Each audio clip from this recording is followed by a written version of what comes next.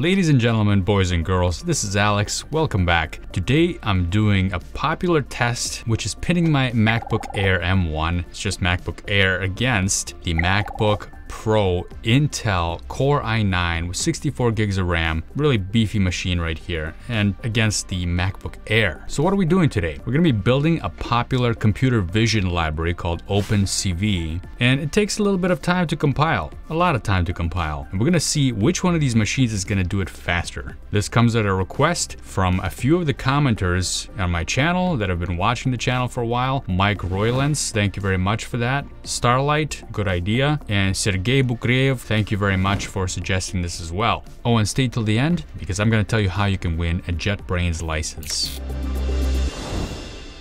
Alright folks, without any further ado, let's get on with the test. So this is a popular open source project and is available on opencv.gov. Here's the documentation for it and also I found the tutorial on their website of how to build this for Mac using Make and CMake. Here's the URL right here. You can go look it up yourself. You can build it yourself if you want and there's also instructions for Linux and Windows I'm sure. Although I haven't tried those, we are going to do this now on the two Macs that I have right here. So I already have all the prerequisites. I have CMake installed, I have Git, and of course I have Python. If you don't have CMake installed, you can always use Homebrew to install it, and the instructions are right here. So the first thing you gotta do is download the source code, which I've already done, and then this suggests creating a separate directory for the build process. So let's do that now. I'm gonna make a new directory called build open CV and I wanna mirror the same exact things that I'm doing on the MacBook M1 and the Intel MacBook. So I'm gonna create that directory here as well. There's our new directory. Let's go into the directory. This is kind of weird, typing at the same time on these. It's not very efficient, but it's possible. So now that I've done that, the next instruction says we're gonna build it. So I'm gonna build it using this command right here, which is cmake, and it's gonna copy all that stuff that we need from the previous directory that I've downloaded. So I'm gonna execute that command here and here as well. Now, I also want to time this as well because this takes a little bit of time, not as long as the actual build but I want to give it the time command just so that we have an idea of what we're dealing with. By the way, for those of you that are interested, and I know some of you like to know the results before watching the rest of the video, the MacBook M1 is going to win this in every instance of any test that I've run by quite a lot. There you go, you have the answer. Now if you actually want to see how this happens and the results of each build, I'm going to be doing iterative builds as well here, then you can keep watching. So here is the cmake command, I'm going to execute it at the same time let's do it.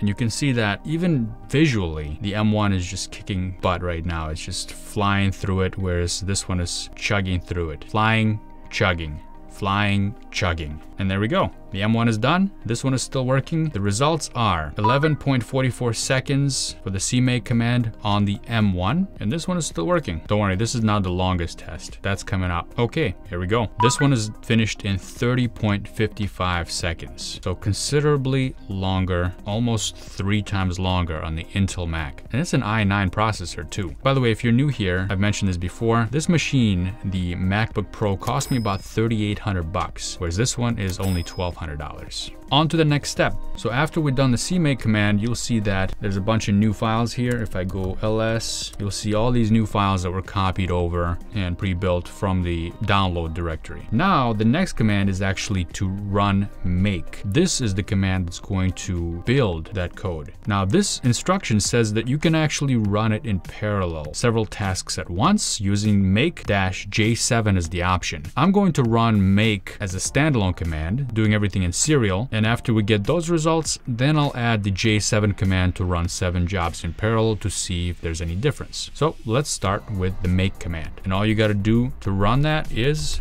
make. But before I run that, I'm gonna add the time command, of course, and I'm gonna do the same thing here on my MacBook Pro. Now, once I press this, it's gonna keep going and I'm gonna have to pause the video so that you don't have to sit through the whole thing. All right, I've got both of these machines set up now to time the make command and I'm gonna kick off the Intel one there we go. And now I'll kick off the M1. Uh, hang on just a minute. Wait a minute. Wait a minute. What do you mean, wait? Don't execute it yet. Just wait. How long should I wait? Just wait, okay? Trust me. It'll be okay. Just wait. I mean, this thing's already going. I'm supposed to be doing this at the same time, right? I know. But It's okay. This thing's already at 4% on the Intel Mac.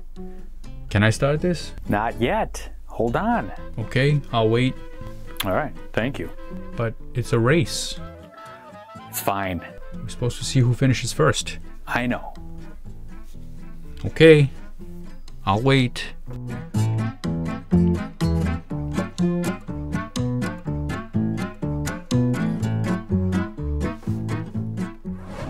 So, while I'm waiting, I just want to show you this real quick. The starting out battery here on the Intel is 96%. That's the battery right now. And on the M1, we're at 58%. Just so you know that. We'll take a look at that at the end. What's what's that noise? Oh, it's the Intel. All right, we're we're at 10% now. Can I can I kick off the other build, please? The Okay. M1 build? Okay, fine. Just do it. Yeah? Okay. We're gonna kick off the M1 build now. Let's see if it can catch up. All right, folks. I've been uh, sitting here for a little bit and waiting and saw that the M1 finished already. It took 1,480 seconds to finish that build on the M1 while the Intel MacBook Pro is still at 58%. So I see what you mean by that. Yep. Told you so.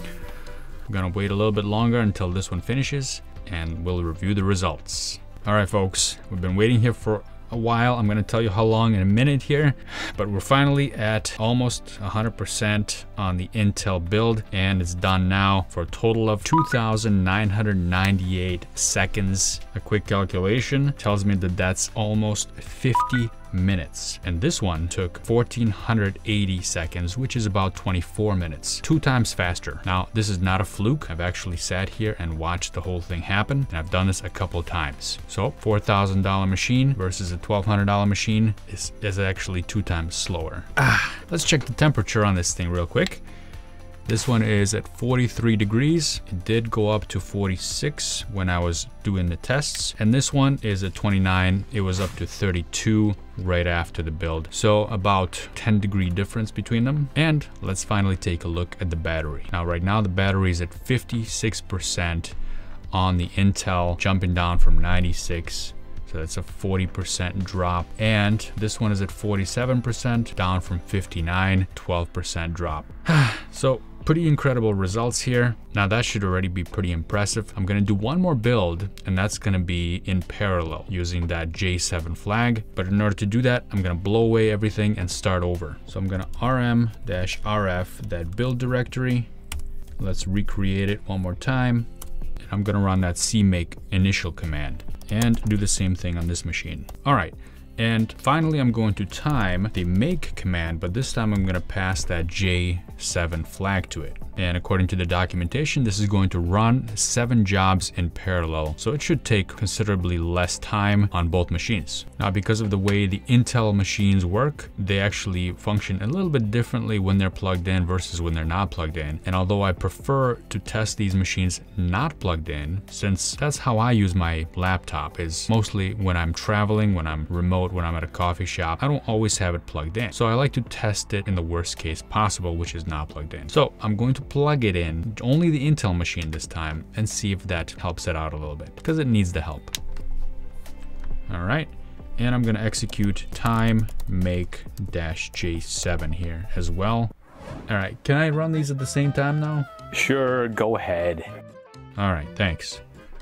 Boom, off they go. I'm also gonna stop the screen recording on both of these and I'll see you when it's done. Oh my God, can you even hear me? This thing is so loud. Okay, 44 degrees. This one is at 33, but the MacBook M1 admittedly did go up to 39 degrees during the build. So it did get pretty warm, but this one is hot and it's loud. All right, let's review the results of this parallel build. So on the M1, we've got 2,500 seconds. That's the user time, and that's the time that I was reporting. Actually, since this ran in parallel, that time is reported to be much higher than the total amount of time that it took. This is the number we're supposed to be looking at right here, 6 minutes and 23 seconds, which is the clock time, is how long this actual build took to run. And that is pretty consistent with what I saw. So in the previous build where I did it not in parallel, but everything was in serial, that time was actually pretty much the same between the total time and the user time in seconds. So that's why why it was okay for me to report 1480 seconds,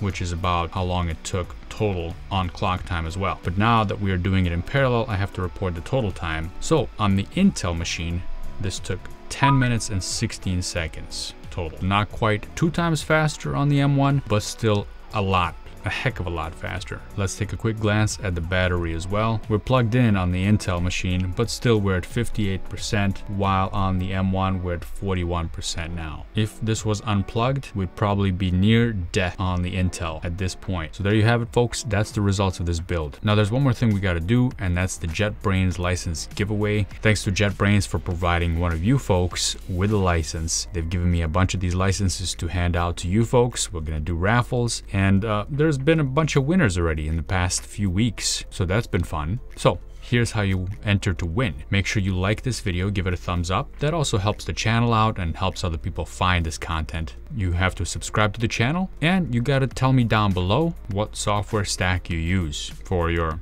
development. That's it for me today. Thanks a lot for watching. I hope you have a wonderful day. And if you're not subscribed yet, do consider subscribing to the channel. And if you give me a thumbs up, really appreciate it. Helps me out quite a bit. Thank you folks, and I'll see you in the next video.